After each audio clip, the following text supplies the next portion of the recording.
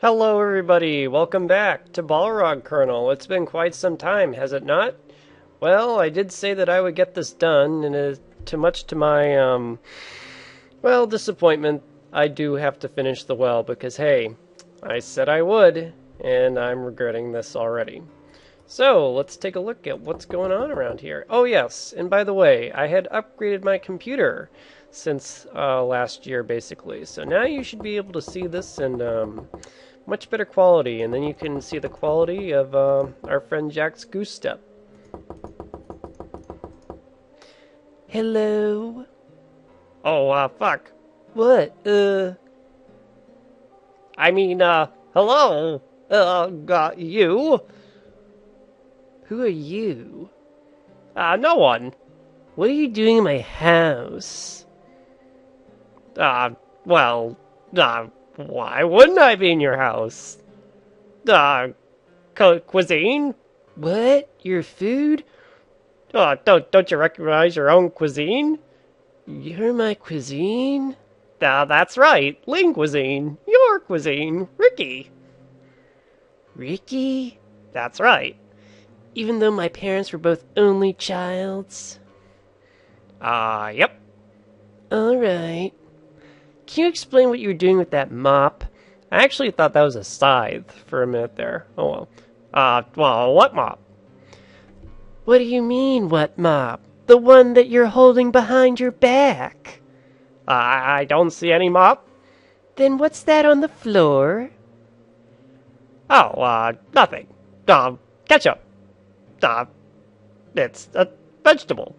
Definitely not the blood of your ill-fated hamster killed by some evil alien monster. Whoops, I didn't say that. What?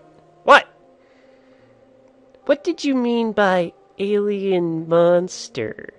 Oh, well, who said anything about a crawling slug-like alien monster that's upstairs right now feeding on the uh, the parents and horribly molested corpses? Wow. What? What? Okay, cuisine. Uh. You. Ah, Ricky. Right, right. Ricky. Are my parents dead? Ah, yes. What? Uh, I mean, uh, no, no, uh, don't get me wrong now. Where are they then? Oh, well, you see, uh, ha. Okay, Cuisine, Jack. Yes, Cuisine Jack. I'll, I'll be honest with you. That was an accident. Okay. Your parents, uh, they, uh, they found on the stairs, and, uh, even though there are no stairs, and, with, and we're pretty decapitated by the steps. Stairs? Yep, I see. Where are their bodies then? upstairs. Then I'll go up and take a look at them. Oh, uh, no, no, uh, uh, well, you can't. Because, uh, of the plague. Terrible plague, right. I don't even want to fucking now. Instead of no. Oh, phew, that was close. So, as we can see, Jack has encountered a less than in- intelligent agent who's trying to cover up the murder of his parents. So, as the psychotic, um, you know, preteen, teen uh, pro- uh, protagonist, as we might call him, we have to find a way of brutally uh, getting through this game. So, let's see if I can go through here. Oh, okay. That's the same message as before. Ah, now we can go down here. Let's see what this one has to say. Hey, you're just a stupid redneck kid.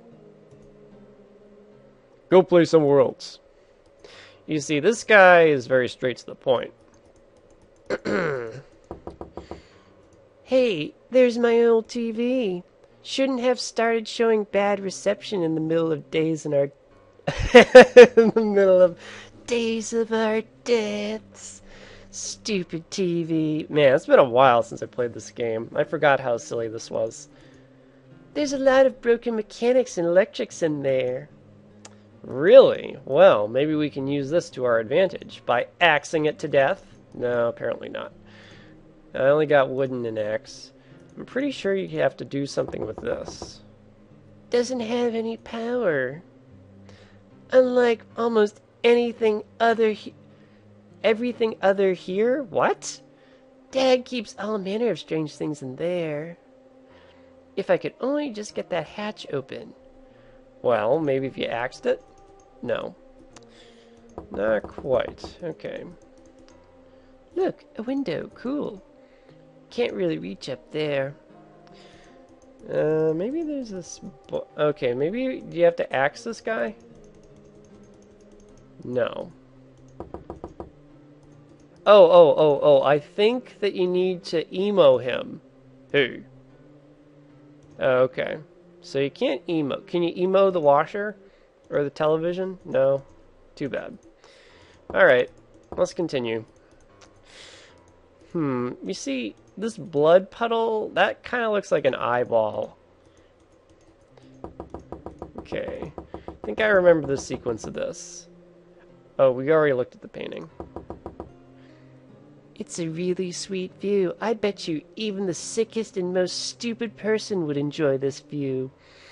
Now that's supposed to be a very subtle hint as to uh, indicate what to do next. So, uh, even though even though I cut my share of wood in my miserable life, and even though he seems a tad stupid, I don't really think I can overpower him if he can see me coming with this blunt axe. So we're going to do the most awkward thing that adventure game has ever done. Are you ready, ladies and gentlemen? Here we go. no, no, I'm sorry. That was just a joke. Instead, we're going to do something even more awkward. Ah, hail, my fair maiden. What fare you? Ah, maiden? Alas, that has seen the fair sight, and that begrasped thou by yon window. I can't say I have. Perhaps I need to take a little break from this damn blood swapping duty. Uh, cleaning duty. I, I mean, uh, uh, uh ketchup. Uh, right. Hey, you were right. The view is pretty pretty. And this is when you strike. Heh heh. Wee, wee, wee, wee, do, do, do. I'm a lumberjack and I'm okay. And graphical corruptions galore, and we have a carcass. Heh, a corpse. And of course, being as unscrupulous as Jack is, you have to search the course. The corpse.